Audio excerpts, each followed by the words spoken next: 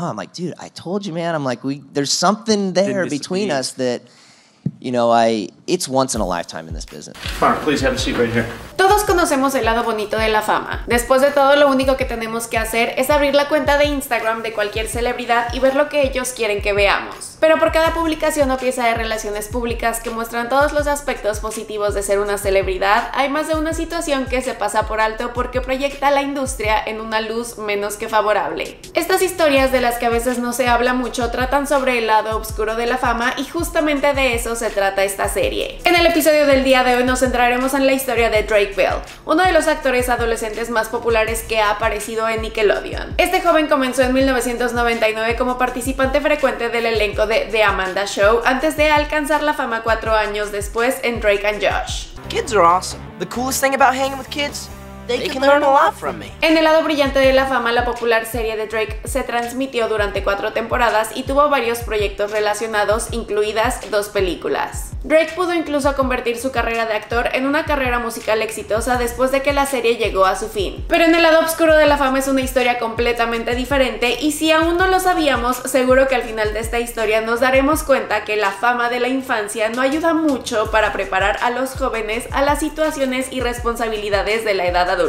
porque Drake no solo se encontró teniendo problemas por conducir bajo los efectos del alcohol, sino que también enfrentó algunas terribles acusaciones de abuso físico contra su exnovia y ahora, recientemente, se enfrenta a una situación legal por el intento de poner en peligro a un menor. ¿Qué onda? Mi nombre es Ailet y en este nuevo episodio del lado oscuro de la fama echaremos un vistazo a algunos de los momentos más sorprendentes y, por qué no, más oscuros de la carrera de Drake Bell. Espero que el video les guste, informe y entretenga. Si es así, ya saben cómo hacérmelo saber. Recuerden seguirnos en nuestras redes sociales oficiales, en mi Instagram personal y díganme en la parte de los comentarios de quién más quieren que hable en los próximos videos. Acabo de hacer unos videos de Floyd Mayweather y de Florida que les voy a poner los links por aquí para que no se los pierdan. Bueno, ahora sí, empecemos con el lado oscuro de la fama de Drake Bell.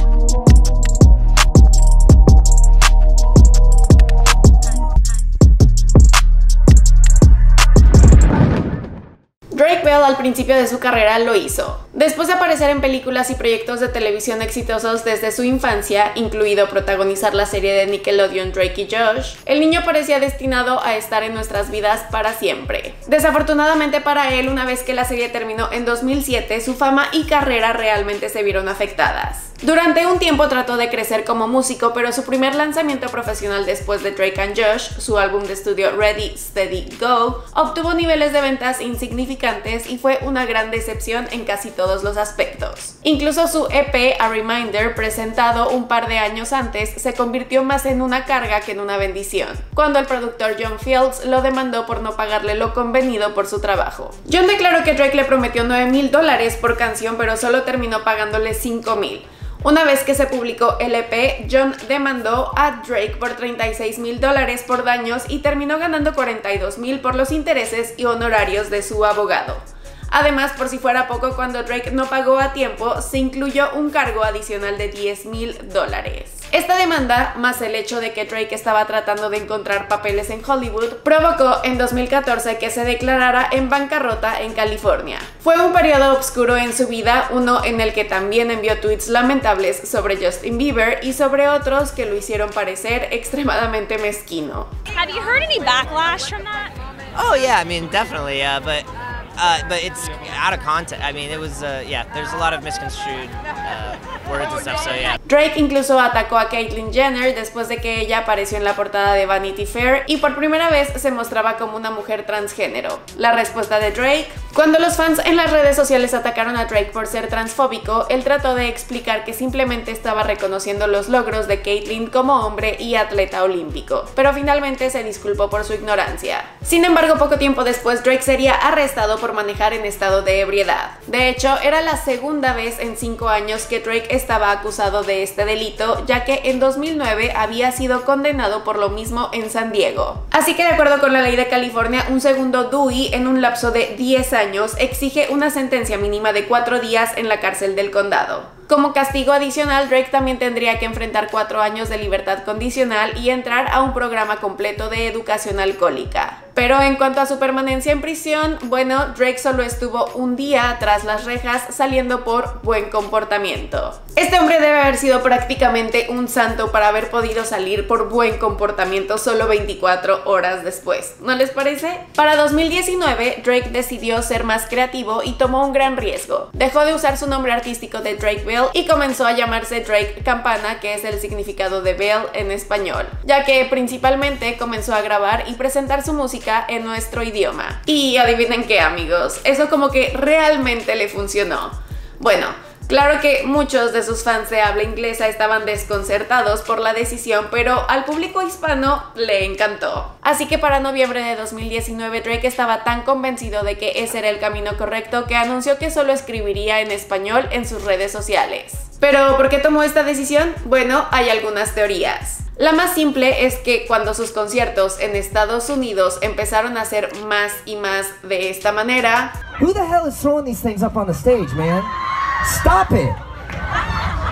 Doesn't make you doesn't make you cool, man. Drake se dio cuenta de que podría ganar más si se enfocaba en el mercado que lo aceptaba y no en aquel que le aventaba cosas en la cara. Pero existen otras teorías un poco más obscuras, como que busca alejarse de las acusaciones de su exnovia Melissa Lingafeld, quien en agosto del 2020 lo acusó de ser agresivo verbal y físicamente durante su relación. When I started dating Drake, I was 16. I was homeschooled. I moved in with him. I was singing.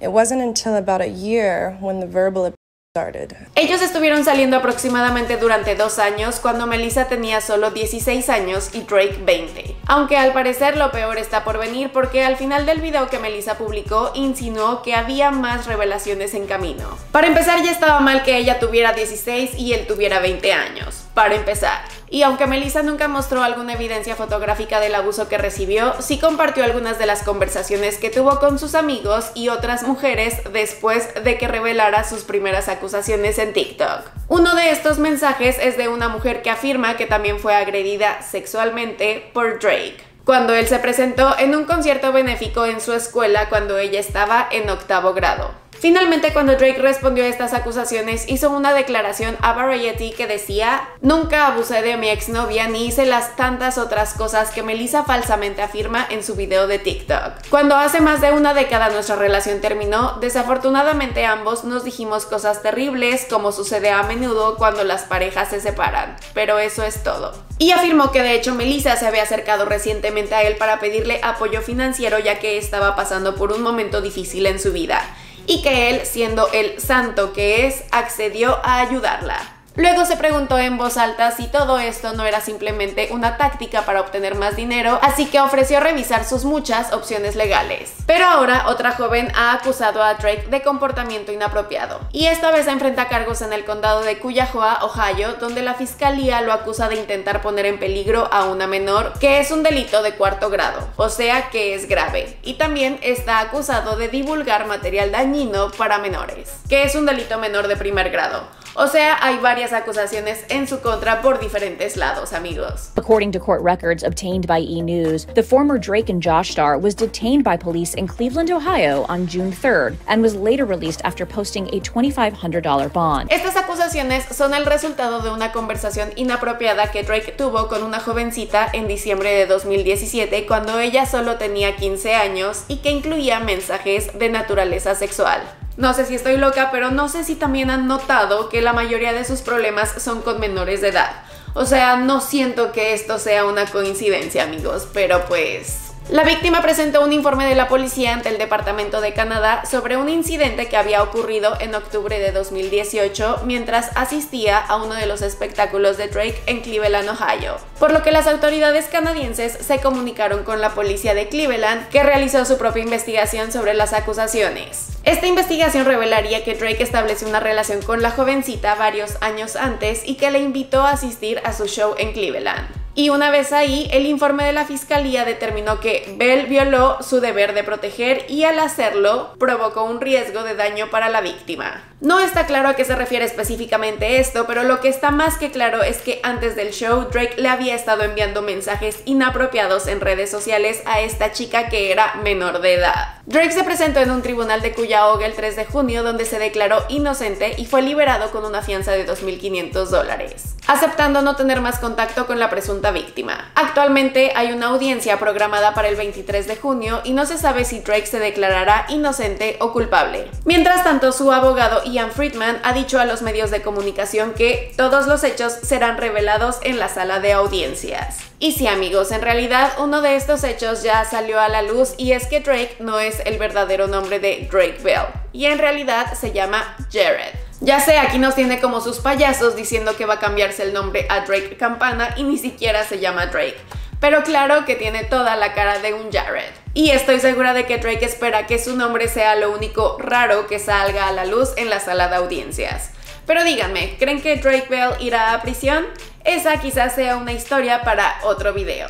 Por lo tanto voy a terminar este video aquí esperando que les haya gustado, informado y entretenido. Si fue así, ya saben cómo hacérmelo saber. También díganme en la parte de los comentarios de quién más quieren que hable en los próximos videos. Como les dije, recientemente hice un lado oscuro de la fama de Florida que está bastante interesante y también hice uno acerca de Floyd Mayweather.